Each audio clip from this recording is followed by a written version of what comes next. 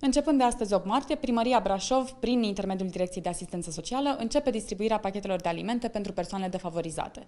Aproape 500 de persoane din Brașov vor primi aceste pachete de alimente, necesare alimente de bază, iar ele se pot ridica zilnic între ora 9 și 15 de la sediul Direcției de Asistență Socială de pe strada Panselelor.